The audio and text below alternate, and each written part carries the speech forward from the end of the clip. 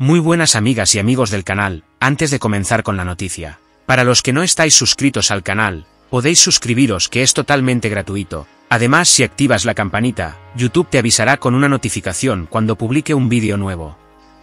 Del perro no come perro a esto. Isabel Rábago hace bueno a Lequio en el nombre de Rocío.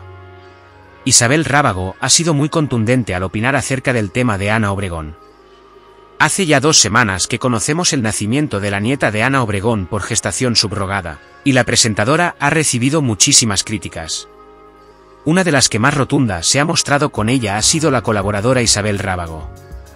Este lunes Isabel Rábago ha vuelto a dar su opinión en Ya es mediodía, tras escuchar las palabras de Alessandro Lecchio en su reaparición en el programa de Ana Rosa. Isabel Rábago ha comentado, yo he tenido acceso al documento, la persona que me lo enseña lo tiene desde hace un mes. En el documento aparece Ana como madre adoptiva de Ana Leque Obregón, y el nombre de la madre gestante. Y en cuanto al padre no aparece y dice que Ana García Obregón aporta el esperma de manera anónima, relataba Alexia. Maravilloso. Me encanta porque ella cada vez que habla complica más la historia. Y esto confirma que lo sabía mucha más gente de la que aparentemente se ha dicho que lo sabían. Reaccionaba de primeras Isabel Rábago. Me fascina que haga tanto hincapié en lo legal, en lo económico y que nos perdone Dios, y nos juzgue a las personas que cuestionamos el mercadeo de toda esta historia. El mercadeo y que nos sorprenda todo esto que está pasando. Parece que hay que decirle amén, a todo lo que hace la señora Ana Obregón.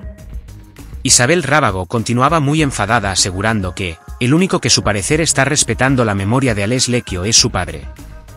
Una de las mejores amigas de Rocío Carrasco no para de linchar públicamente a Ana García Obregón, y es que Isabel Rábago desde un primer momento se ha mostrado en contra de la decisión que ha tomado la actriz y bióloga. Es mi mera opinión, aquí todo el mundo opina, sin tener ni puñetera idea.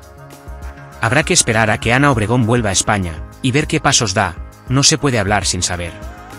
Como siempre, podéis dejar vuestras opiniones en la caja de comentarios, dame un buen like en apoyo al canal, y activa la campanita para futuros vídeos, y muchas gracias por estar ahí.